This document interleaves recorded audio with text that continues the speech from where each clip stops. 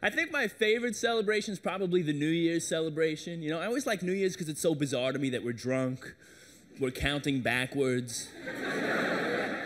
like, when did this tradition start? Did they have it back in ancient times, like in ancient Rome? Did they have the countdown and be like, X, I X, V I I I, V I I V. I'm out.